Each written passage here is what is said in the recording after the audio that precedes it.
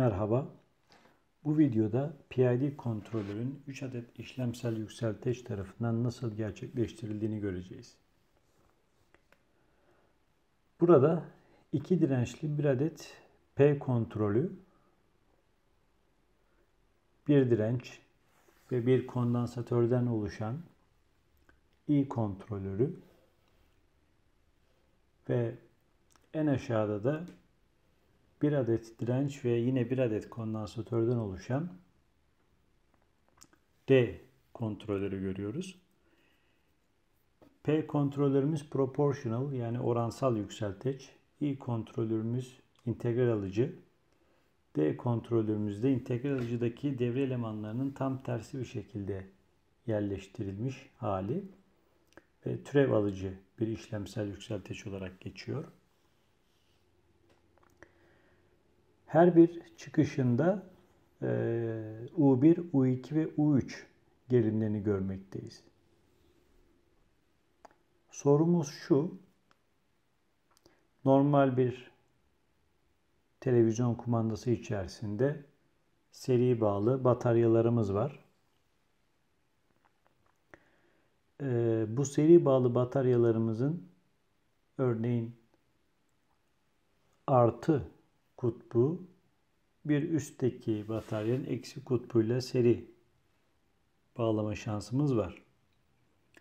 Aynı şeyi işlemsel yükselteç, yükselteç dışın e, çıkışlarında yapabiliyor muyuz? Sorumuz bu. Mümkün mü? Yani bu artı noktayı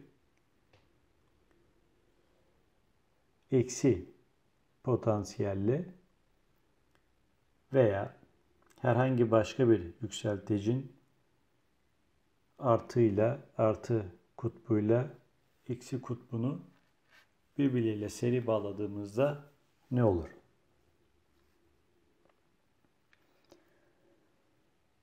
Ee, bunu direkt olarak yapmamız mümkün değil. Her bir yükseltecin çıkışında birer adet dirence ihtiyacımız var bu dirençler üzerinden tekrar sanal bir toprağa sahip olan diğer bir yükseltecin girişine bağlayabiliyoruz. Dolayısıyla burada eksi ve artı girişler potansiyel olarak birbirleriyle eşit. Oransal yükseltecin girişinden akan akım normalde bu yükselteçlerin içerisine girmesi mümkün değil. Çünkü yüksek ohmik dirence sahip. Giriş akımı yukarıdaki direncin üzerinden tekrar bu noktada toplanarak sanal toprak üzerinden çıkışa verilmekte. Her bir işlemsel yükselticinin e, bir sanal toprağı mevcut bu artı kutbun bağlı olduğu toprakla aynı potansiyele sahip. Dolayısıyla çıkışta gördüğümüz bu potansiyellerin hepsi birbirleri kısa devre.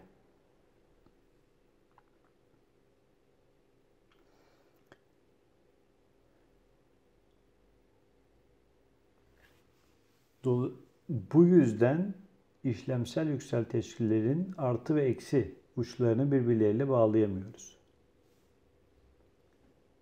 Peki bu üç adet direnç ne işe yarıyor? Her bir yükseltecin çıkışından akan akım her bir direncin üzerine bir gerilim oluşturmakta. Dolayısıyla bu noktada biz gerilimleri değil akımları toplamış oluyoruz. Ve burada toplanan akımlar en sağdaki yükselteç üzerinden çıkışa verilmekte. Yani bu sanal toprak üzerinden devam edip direncin üzerinde çıkışa gitmekte. Dolayısıyla bu çıkış geriliminin her bir yükselteç üzerinde bulunan ayarlanabilir dirençler aracılığıyla çıkış gerilimi değişmekte.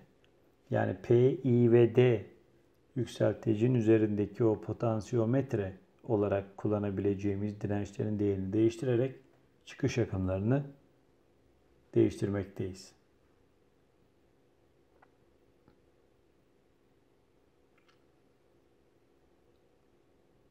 Bu noktada toplanan akımların değeri potansiyometre aracılığıyla değiştirildikten sonra